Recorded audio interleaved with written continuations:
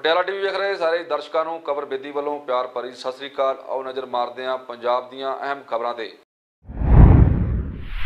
ਪੰਜਾਬ ਦੇ ਮੁੱਖ ਮੰਤਰੀ ਕੈਪਟਨ ਅਮਰਿੰਦਰ ਸਿੰਘ ਅਹਿਮ ਮੁੱਦਿਆਂ ਨੂੰ ਲੈ ਕੇ ਪ੍ਰਧਾਨ ਮੰਤਰੀ ਨਰਿੰਦਰ ਮੋਦੀ ਨਾਲ ਮੁਲਾਕਾਤ ਕਰਨ ਲਈ ਦਿੱਲੀ ਪੁੱਜੇ। ਮੁਲਾਕਾਤ ਦੌਰਾਨ ਕੈਪਟਨ ਅਮਰਿੰਦਰ ਸਿੰਘ ਨੇ ਪਰਾਲੀ ਦੇ ਮਸਲੇ ਦੇ ਹੱਲ ਲਈ ਕੇਂਦਰ ਸਰਕਾਰ ਤੋਂ ਮੱਦੀ ਮੰਗ ਕੀਤੀ ਹੈ।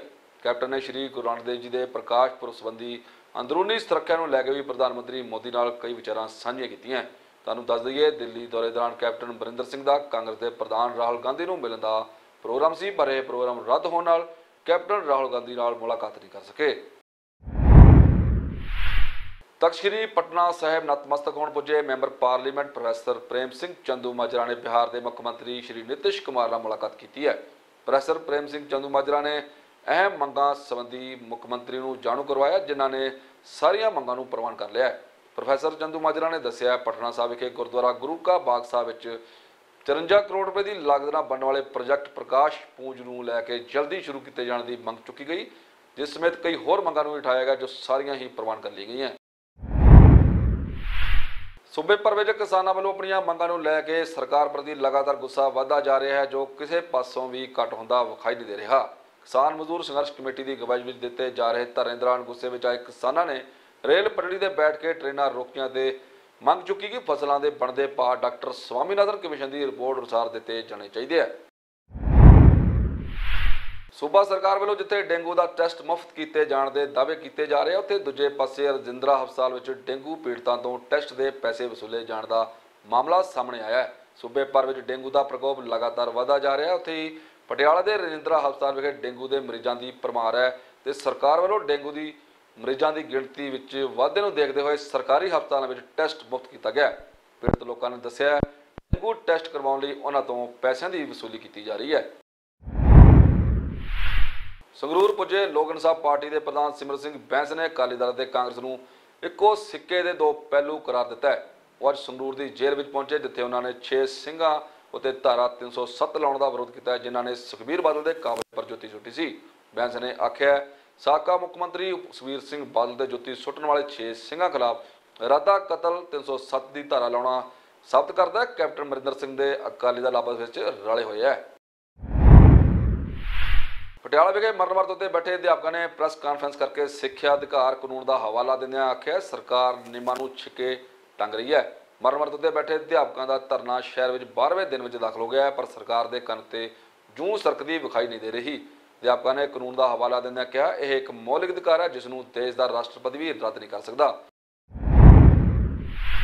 ਨਨ ਬਲਾਤਕਾਰ ਮਾਮਲੇ ਵਿੱਚ ਕੇਰਲ ਹਾਈ ਕੋਰਟ ਤੋਂ ਰਾਹਤ ਮਿਲਣ ਤੋਂ ਬਾਅਦ ਵਿਸ਼ਵ ਫਰੈਂਕੋ ਮੁਲਕਲ ਜਲੰਧਰ ਪਹੁੰਚੇ, ਜਿੱਥੇ ਲੋਕਾਂ ਨੇ ਉਹਨਾਂ ਦਾ ਭਰਵਾਂ ਸਵਾਗਤ ਕੀਤਾ ਹੈ।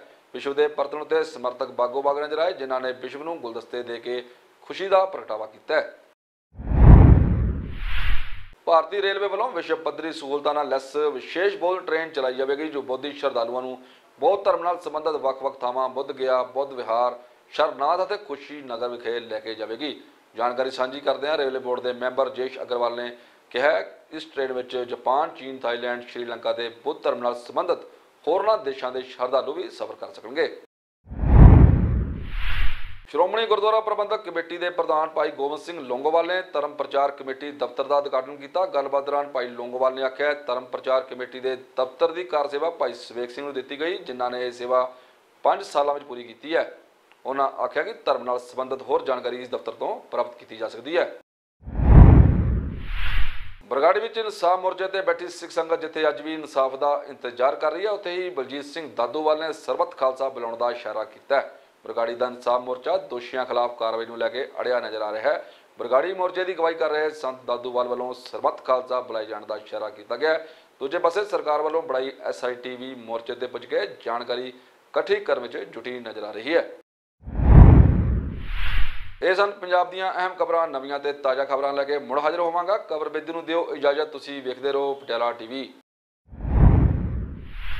ਆਪ ਦੇਖ ਰਹੇ ਹੋ ਪਟਿਆਲਾ ਟੀਵੀ। ਪਟਿਆਲਾ ਟੀਵੀ ਜੋੜੇ ਆਪ ਜੀ ਨੂੰ ਸੋਹਣੇ ਪੰਜਾਬ ਅਤੇ ਦੇਸ਼ ਨਾਲ। ਹਮੇਸ਼ਾ ਦੇਖਦੇ ਰਹੋ Patiala TV. Guru Nanak institute of medical technology, Punjab the number 1 Dubai global achiever award ਪ੍ਰਾਪਤ 1991 ਵਿੱਚ ਸਥਾਪਿਤ ਹੋਈ। ਪਟਿਆਲਾ ਦੀ ਸਵੈ ਰੋਜ਼ਗਾਰ ਪ੍ਰਦਾਨ ਕਰਾਉਣ ਵਾਲੀ ਪਹਿਲੀ ਅਤੇ ਪੁਰਾਣੀ ਸੰਸਥਾ IPMT ਦੇਸ਼ ਭਗਤ ਯੂਨੀਵਰਸਿਟੀ ਅਤੇ PTU ਤੋਂ ਮਾਨਤਾ ਪ੍ਰਾਪਤ ਮਾਡਰਨ ਟੈਕਨੀਕਾਂ ਰਾਹੀਂ ਬਣੀ। ਪੰਜ ਮੰਜ਼ਲਾ ਇਹ ਸੰਸਥਾ 10ਵੀਂ ਅਤੇ ਪਲੱਸ 2 ਤੋਂ ਬਾਅਦ ਗਵਰਨਮੈਂਟ ਅਤੇ ISO ਸਰਟੀਫਾਈਡ ਡਿਪਲੋਮੇ OT DMLT X-ray ophthalmic assistant ECG physiotherapy, ਹੁਣ ਹਿੰਦੀ, ਪੰਜਾਬੀ ਤੇ ਅੰਗਰੇਜ਼ੀ ਵਿੱਚ ਵੀ ਕਰ ਸਕਦੇ ਹੋ। ਵਿਦਿਆਰਥੀ ਨੂੰ ਪੜਾਉਣ ਦੀਆਂ ਨਵੀਆਂ ਤਕਨੀਕਾਂ live projector slide projector overhead projector DMLT ਕੋਰਸਾਂ ਲਈ ਮੈਨੂਅਲ ਅਤੇ computerised lab operation theatre X-ray plant ECG machine eye testing ਅਤੇ ਚਸ਼ਮੇ ਬਣਾਉਣ ਦੀਆਂ ਮਸ਼ੀਨਾਂ ਹੋਸਟਲ ਅਤੇ ਖਾਣੇ ਦਾ ਖਾਸ ਪ੍ਰਬੰਧ। ਤੁਸੀਂ ਵੀ ਆਪਣੇ ਬੱਚਿਆਂ ਦਾ ਫਿਊਚਰ ਸੰਭਾਲਣਾ ਚਾਹੁੰਦੇ ਹੋ, ਤਾਂ ਸਾਡੇ ਇੰਸਟੀਚਿਊਟ ਇੱਕ ਵਾਰ ਆ ਕੇ ਜ਼ਰੂਰ ਵੇਖੋ। ਸੰਪਰਕ ਕਰੋ। Guru Nanak institute of medical technology main road factory area ਨੇੜੇ ਸ਼ਿਵ ਮੰਦਿਰ ਪਟਿਆਲਾ। 0175 235 1810 93560 21507 90567 90022 www.gurunanakinstitute.com